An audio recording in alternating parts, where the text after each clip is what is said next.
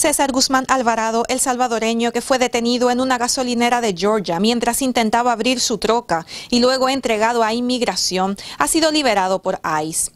Y yo les pregunté a ellos, ¿qué es lo que está pasando? Y me dijeron ellos, mira, tenemos aquí unos, unos papeles y necesitamos tu firma para que tú firmes estos papeles porque te vas. Y yo le dije, pero ¿para dónde me voy? Y me dijeron, vas de aquí, que tú no puedes estar aquí. La detención de Guzmán mantuvo en vilo a toda su familia cuando el pasado 17 de julio fue arrestado por un oficial de la policía local de Peachtree City.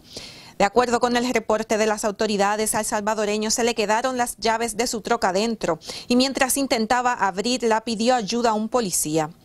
Al Guzmán pedir asistencia del oficial, tuvo que llenar una forma que la policía pide antes de abrir cualquier auto.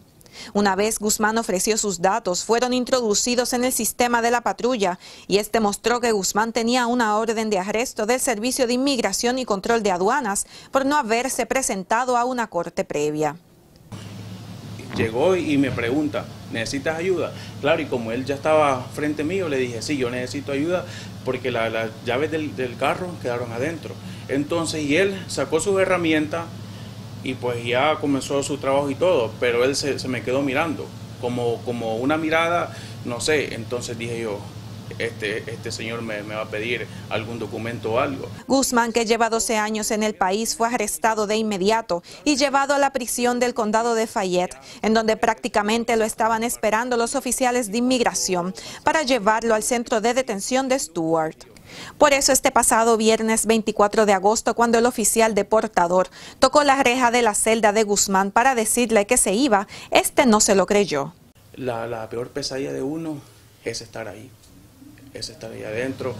Claro, yo me sentía triste, pero yo lo que hacía, mi fe, pues yo me, oraba, oraba y pues yo me sentía bien, pero siempre pues uno pues no deja de estar con, con un temor.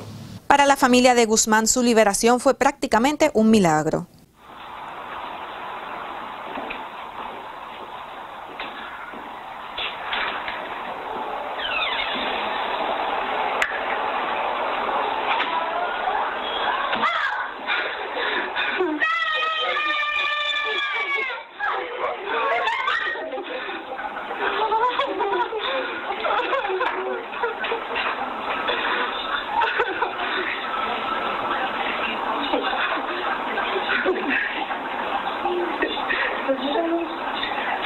No, el mundo se me fue abajo.